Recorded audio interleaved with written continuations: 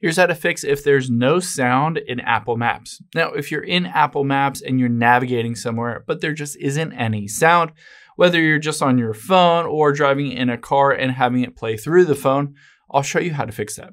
So the first thing we're gonna do is head into your settings here, and we're gonna scroll down until we find Maps. There it is, tap on Maps. And then again, we're gonna scroll down to Spoken Directions.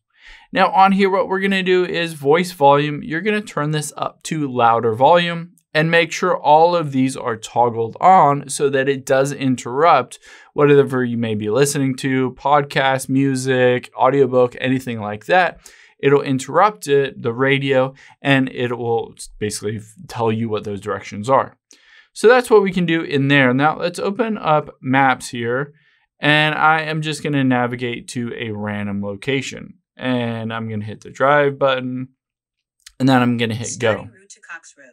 Now, one thing that you can do is you can see that speaker at the top right. I can tap on it. If it has the little slash through it, basically that means that the speaker is muted. So if it is muted like that, of course you won't be able to hear it and you won't be able to hear any sound.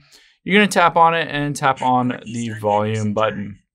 Now the next thing we can do is swipe down from the top right and we're going to do two things here. One is we're going to toggle off Bluetooth just to test this out because maybe your phone is connected to your uh, car and just CarPlay or whatever it may be isn't working very well. So let's disconnect from the car for a sec and then just toggle this volume all the way up. And by doing so, you know that that volume is going to be playing out of your iPhone speakers itself and you should be able to fix any kind of no sound or sound quality issues when navigating.